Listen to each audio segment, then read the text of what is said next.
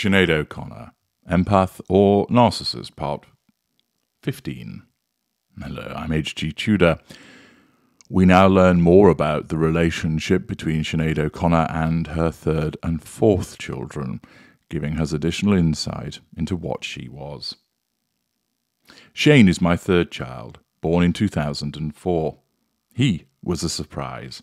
His father was married at the time, so there was great controversy around the fact that I was pregnant pausing there, the fact that she was involved with someone who was married shows potentially a lack of emotional empathy for that person's partner. Of course, it might be that he was married and separated, or if he was married and still in an active relationship, then that shows a lack of boundary recognition on the part of O'Connor as a consequence of the interference in another person's relationship.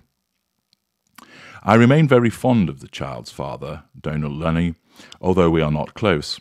Things became very difficult for Shane and for me. Shane is an extremely special character, very, very psychic, and very, very spiritualized. When he was three, he asked me one day, Were you in an earthquake when I was inside your tummy? At first I said no, because I forgot I had been. When he was two weeks in my belly, I didn't even know I was pregnant. I was on holiday in Malta, and there was an earthquake. I never thought about it again. I never mentioned it. I never told the child. I don't think I even told anyone else. Yet this three year old child was able to tell me I was in fact in an earthquake, and I don't know how he knew this. I'd venture to suggest that this is just child curiosity asking a parent if they've been involved in that, in an earthquake. Another time he was in his bath and he asked me, Did you ever meet God? And I said, Well, maybe I did. Some kind of magical things happened to me, and maybe I met God in certain ways. The child tut tutted at me as the water was leaving the bath and said, That's not how you meet God. He told me, You have to make your dreams come true.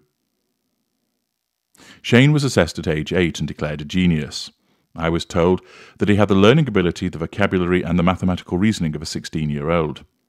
He began to study science at a college with the adults in Dublin, but he didn't enjoy going there, so it didn't last long.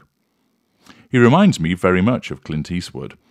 He would get himself into all kind of trouble, but because he is so calm and so sweet and so genuinely charming, he managed to sail through things without them affecting him terribly badly, and I admire him for that. I know it is said that children like Shane can be difficult and challenging, but it is actually easy for me because I'm an unusual kind of mother. Shane is not a squared peg to be shoved into a round hole. He is the child who is most like me, I believe, to look at and by his nature, although he is, of course, the version of me with logic and reason. As Jack Nicholson might say, he is a very cool customer, Shane. I suspect this child is going to go into some type of work that involves helping people. He may turn out to be a very good chef. He would rather starve to death than eat anything I make. He's the type of cook who doesn't need a recipe and just throws everything into the pot and the pan and it turns out great. Another testament to my terrible, terrible cooking, although it does seem I do cook me a good baby. Yeshua was planned.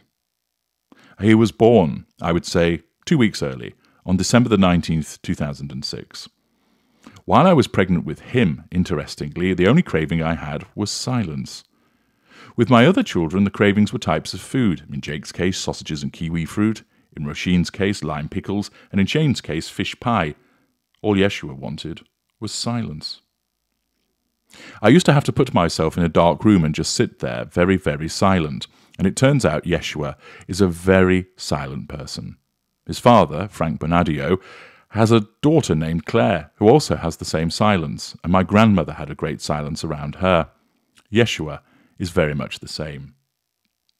He loves his own space and likes to be alone, an extraordinarily creative human being. He is definitely the child who I think will become a singer. He has a phenomenal voice, a phenomenal musical talent. He plays the piano so well that you would think a record was playing. I'm rarely speechless, but when I hear him play piano, and when I hear him singing, I cannot speak for ten minutes. As soon as he starts performing, I'm out of the picture. Yeshua is going to blow me off the stage and out of the water. So I'm deliberately being very nice to him, and so is the rest of the family, because we reckon he's going to be a millionaire by the time he's 20, and we want to make sure he's good to us. He's turned into a teenager obsessed with superheroes and Harry Potter. If you meet him, all he will talk about is which superhero he would like to be and which superpower he would like to have. He's genuinely upset that he doesn't have a superpower, although I'm always telling him that he does. I tell him that he has a large empathetic heart, and the amount of love he has for people is a superpower. Of course, he scoffs at me, saying, You can't save the universe with a large empathetic heart. I disagree. Yeshua is one of the funniest people I've ever met, with a laugh that makes everybody else laugh, even if you don't know what he's laughing at, because he literally cry laughs and giggles. Sometimes I'm finding very sweet these days as that he's turning into a carbon copy of his father. He even sits exactly as his father sits, and I have to say, his father is the best father that I've ever encountered, and Lord knows, Father's Day is a busy day in my house. In fact, it's quite the revolving door. People always want to know why I have four children with four different men. I tell them it just happened that way. It wasn't something I planned, but it didn't feel like I had to get married for the sake of having a child. Although I did marry my first child's father, we were, as I wrote, more like brother and sister. That's why the relationship did not work out. I couldn't compute how one might make love with one's brother. John Reynolds and I got married because we thought we should, or I should say, because I thought we should, because we had a child together. That is not a mistake I was prepared to make again. So when I found myself pregnant by surprise with Shane, I was in love with Shane, although I didn't want to be with his father. The same was the case with Roisin. In Yeshua's case, myself and Frank were together for five years, and we still remain the best of friends, and we live 300 feet from each other so the child can come and go as he pleases. I didn't set out to be unusual or independent. These were four babies that I wanted.